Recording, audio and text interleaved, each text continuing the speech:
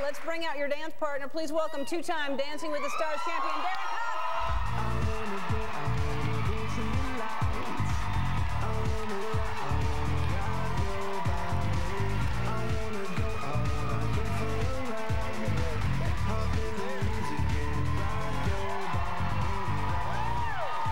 The ladies, they like them some Derek Hough. Of course. So, uh, first of all, just explain real quickly what this picture is right here. Just real quick.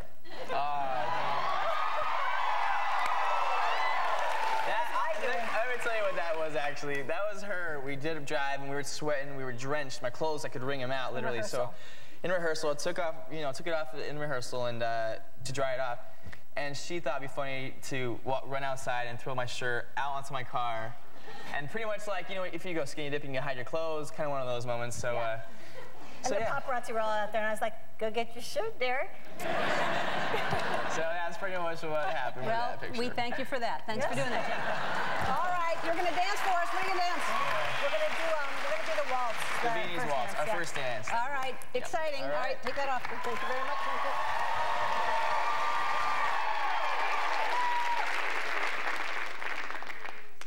These